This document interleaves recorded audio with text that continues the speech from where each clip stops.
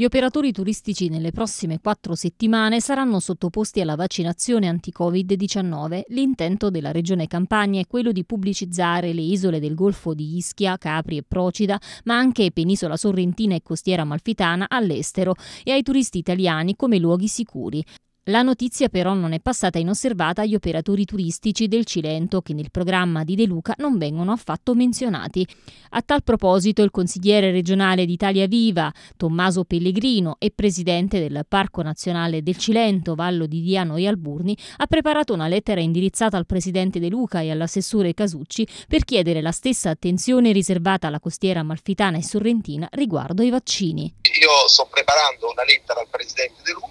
e all'assessore Casucci che chiaramente sono sempre attenti al nostro territorio, una lettera nella quale rappresento proprio non soltanto l'importanza strategica del Cilento nel, nel, nel per il turismo e i passi avanti che il Cilento ha fatto negli ultimi anni da tutti i punti di vista. Sono tante le persone che investono in territorialità e investono in turismo nel nostro Cilento, è un territorio emergente, basta guardare quello che è successo l'estate scorsa dove abbiamo avuto quel turismo di prossimità, il Cilento è stata una delle mete preferite. Andiamo a vedere i riconoscimenti che stiamo avendo dai visitatori, unico parco italiano, e lo sottolineo, unico parco italiano entrato nella top 10 della classifica di TripAdvisor a livello europeo, beh, questo significa che oggi il nostro territorio, il nostro Cilento è uno dei luoghi più importanti